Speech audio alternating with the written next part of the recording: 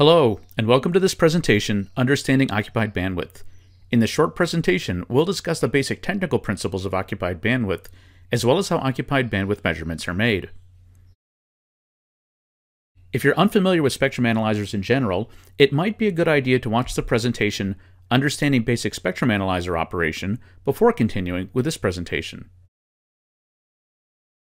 We'll start with what would seem to be a very simple task, measuring the width of a signal. There are two main reasons why we might need or want to measure the width of a signal.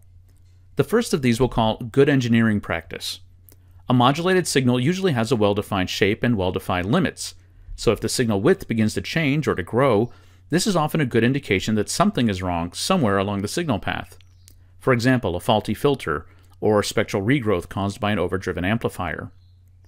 Regulatory requirements are another reason why measuring signal bandwidth is important.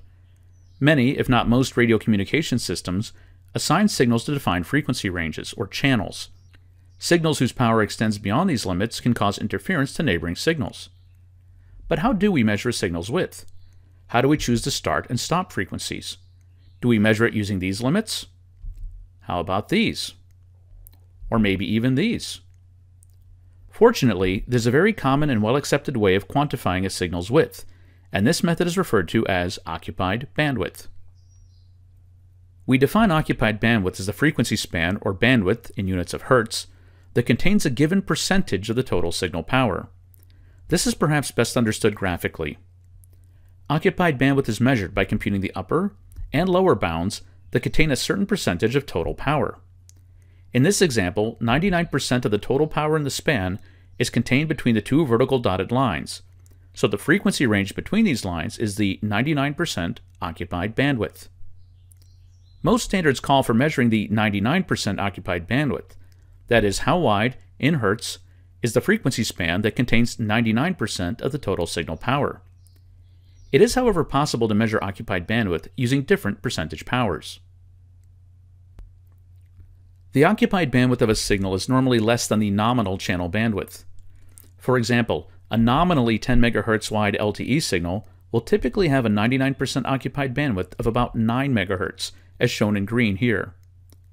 The orange trace shows a 10 MHz wide LTE signal with an occupied bandwidth of 10 MHz. This might sound okay, but actually this is neither expected nor normal. And a nominally 10 MHz wide LTE signal that has an occupied bandwidth of 12 MHz, as shown in red, is clearly a problem.